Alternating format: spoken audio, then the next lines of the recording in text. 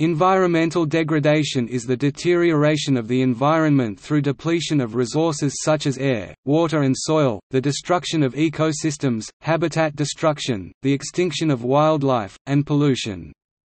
It is defined as any change or disturbance to the environment perceived to be deleterious or undesirable.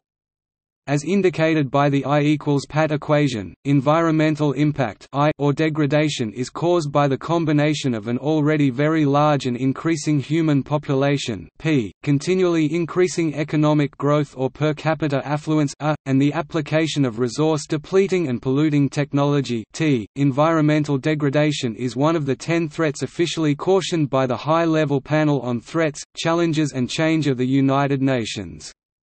The United Nations International Strategy for Disaster Reduction defines environmental degradation as the reduction of the capacity of the environment to meet social and ecological objectives, and needs. Environmental degradation comes in many types. When natural habitats are destroyed or natural resources are depleted, the environment is degraded. Efforts to counteract this problem include environmental protection and environmental resources management.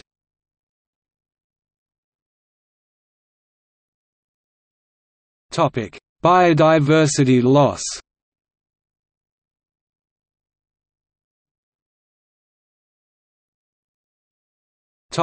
Water degradation One major component of environmental degradation is the depletion of the resource of fresh water on Earth. Approximately only 2.5 grams percent of all of the water on Earth is fresh water, with the rest being salt water. 69% of fresh water is frozen in ice caps located on Antarctica and Greenland, so only 30% of the 2.5% of fresh water is available for consumption. Fresh water is an exceptionally important resource, since life on Earth is ultimately dependent on it. Water transports nutrients, minerals and chemicals within the biosphere to all forms of life, sustains both plants and animals, and molds the surface of the Earth with transportation and deposition of materials. The current top three uses of fresh water account for 95% of its consumption, approximately 85% is used for irrigation of farmland, golf courses, and parks, 6% is used for domestic purposes such as indoor bathing uses and outdoor garden and lawn use, and 4% is used for industrial purposes such as processing, washing, and cooling in manufacturing centers. It is estimated that one in three people over the entire globe are already facing water shortages. Almost one fifth of the world population live in areas of physical water scarcity, and almost one quarter of the world's population live in a developing country that lacks the necessary infrastructure to use water from available rivers and aquifers. Water scarcity is an increasing problem due to many foreseen issues in the future including population growth, increased urbanization, higher standards of living, and climate change.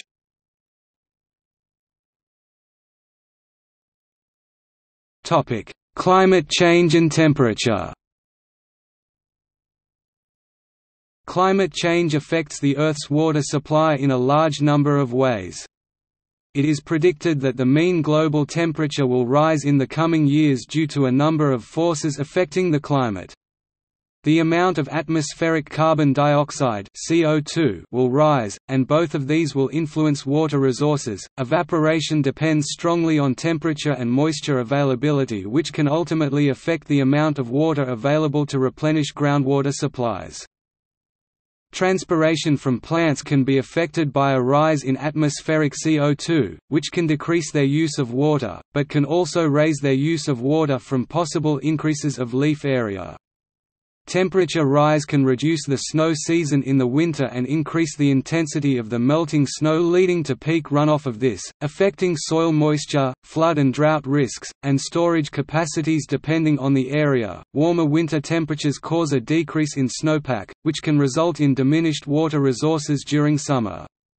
This is especially important at mid-latitudes and in mountain regions that depend on glacial runoff to replenish their river systems and groundwater supplies, making these areas increasingly vulnerable to water shortages over time. An increase in temperature will initially result in a rapid rise in water melting from glaciers in the summer, followed by a retreat in glaciers and a decrease in the melt and consequently the water supply every year as the size of these glaciers gets smaller and smaller. Thermal expansion of water and increased melting of oceanic glaciers from an increase in temperature gives way to a rise in sea level. This can affect the fresh water supply to coastal areas as well.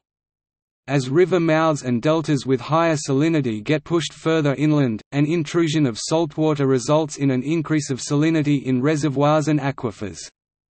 Sea level rise may also consequently be caused by a depletion of groundwater, as climate change can affect the hydrologic cycle in a number of ways. Uneven distributions of increased temperatures and increased precipitation around the globe results in water surpluses and deficits, but a global decrease in groundwater suggests a rise in sea level, even after meltwater and thermal expansion were accounted for, which can provide a positive feedback to the problems sea level rise causes to fresh water supply. A rise in air temperature results in a rise in water temperature, which is also very significant in water degradation as the water would become more susceptible to bacterial growth. An increase in water temperature can also affect ecosystems greatly because of a species' sensitivity to temperature, and also by inducing changes in a body of water's self-purification system from decreased amounts of dissolved oxygen in the water due to rises in temperature.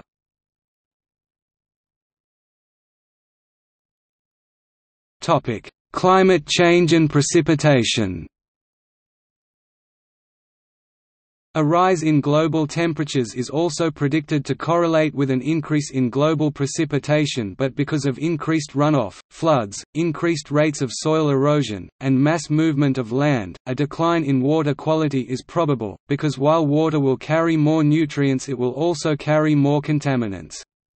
While most of the attention about climate change is directed towards global warming and greenhouse effect, some of the most severe effects of climate change are likely to be from changes in precipitation, evapotranspiration, runoff, and soil moisture. It is generally expected that, on average, global precipitation will increase, with some areas receiving increases and some decreases. Climate models show that while some regions should expect an increase in precipitation, such as in the tropics and higher latitudes, other areas are expected to see a decrease, such as in the subtropics. This will ultimately cause a latitudinal variation in water distribution. The areas receiving more precipitation are also expected to receive this increase during their winter and actually become drier during their summer, creating even more of a variation of precipitation distribution. Naturally, the distribution of precipitation across the planet is very uneven, causing constant variations in water availability in respective locations. Changes in precipitation affect the timing and magnitude of floods and droughts, shift runoff processes, and alter groundwater recharge rates. Vegetation patterns and growth rates will be directly affected by shifts in precipitation amount and distribution, which will in turn affect agriculture as well as natural ecosystems. Decreased precipitation will deprive areas of water causing water tables to fall and reservoirs of wetlands, rivers, and lakes to empty. In addition, a possible increase in evaporation and evapotranspiration will result, depending on the accompanied rise in temperature.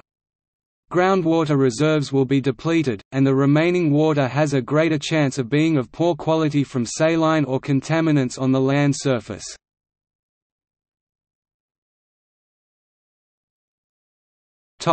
Population growth The human population on Earth is expanding rapidly which goes hand in hand with the degradation of the environment at large measures. Humanity's appetite for needs is disarranging the environment's natural equilibrium. Production industries are venting smoke and discharging chemicals that are polluting water resources. The smoke that is emitted into the atmosphere holds detrimental gases such as carbon monoxide and sulfur dioxide. The high levels of pollution in the atmosphere form layers that are eventually absorbed into the atmosphere. Organic compounds such as chlorofluorocarbons CFCs have generated an unwanted opening in the ozone layer, which emits higher levels of ultraviolet radiation putting the globe at large threat. The available fresh water being affected by the climate is also being stretched across an ever-increasing global population. It is estimated that almost a quarter of the global population is living in an area that is using more than 20% of their renewable water supply. Water use will rise with population while the water supply is also being aggravated by decreases in streamflow and groundwater caused by climate change. Even though some areas may see an increase in freshwater supply from an uneven distribution of precipitation increase, an increased use of water supply is expected. An increased population means increased withdrawals from the water supply for domestic, agricultural, and industrial users, the largest of these being agriculture, believed to be the major non-climate driver of environmental change and water deterioration.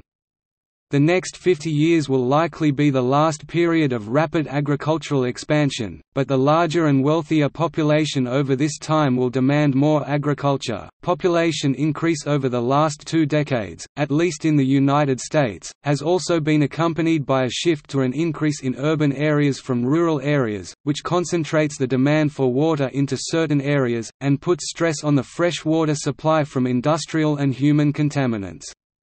Urbanization causes overcrowding and increasingly unsanitary living conditions, especially in developing countries, which in turn exposes an increasingly number of people to disease.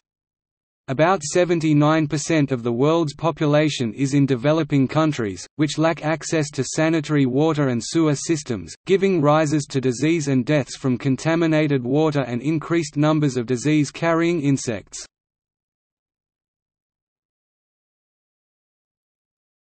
Topic: Agriculture. Agriculture is dependent on available soil moisture, which is directly affected by climate dynamics, with precipitation being the input in this system and various processes being the output, such as evapotranspiration, surface runoff, drainage, and percolation into groundwater. Changes in climate, especially the changes in precipitation and evapotranspiration predicted by climate models, will directly affect soil moisture, surface runoff, and groundwater recharge. In areas with decreasing precipitation as predicted by the climate models, soil moisture may be substantially reduced. With this in mind, agriculture in most areas already needs irrigation, which depletes fresh water supplies both by the physical use of the water and the degradation agriculture causes to the water.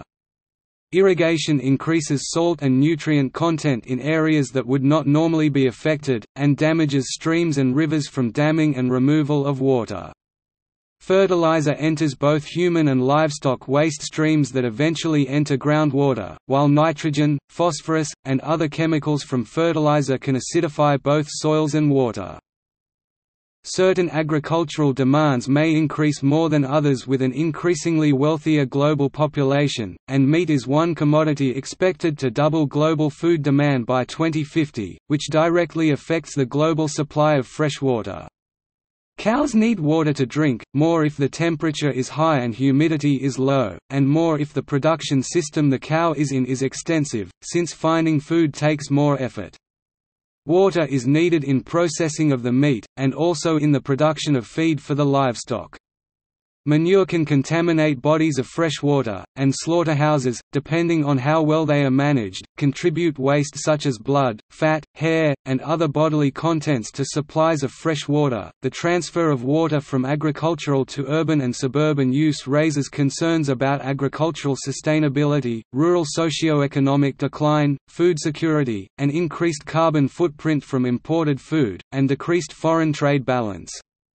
The depletion of fresh water, as applied to more specific and populated areas, increases fresh water scarcity among the population and also makes populations susceptible to economic, social, and political conflict in a number of ways. Rising sea levels forces migration from coastal areas to other areas farther inland, pushing populations closer together, breaching borders and other geographical patterns, and agricultural surpluses and deficits from the availability of water induce trade problems problems and economies of certain areas. Climate change is an important cause of involuntary migration and forced displacement according to the Food and Agriculture Organization of the United Nations. Global greenhouse gas emissions from animal agriculture exceeds that of transportation.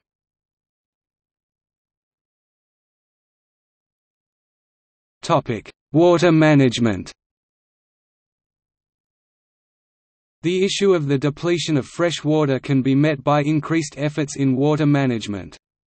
While water management systems are often flexible, adaptation to new hydrologic conditions may be very costly.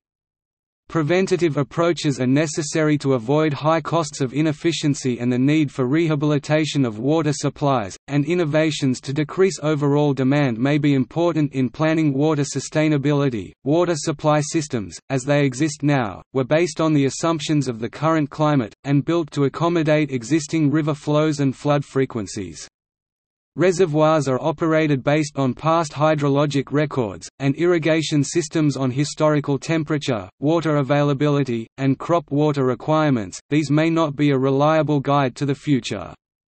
Re-examining engineering designs, operations, optimizations, and planning, as well as re-evaluating legal, technical, and economic approaches to manage water resources are very important for the future of water management in response to water degradation.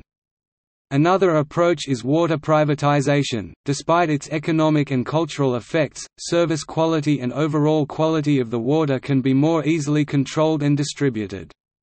Rationality and sustainability is appropriate, and requires limits to overexploitation and pollution and efforts in conservation.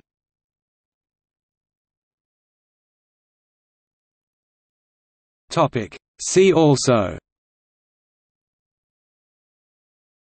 Environmental issues Ecological collapse Ecologically sustainable development Eco-socialism Exploitation of natural resources Restoration ecology United Nations Decade on Biodiversity United Nations Development Programme UNDP United Nations Environment Programme UNEP World Resources Institute WRI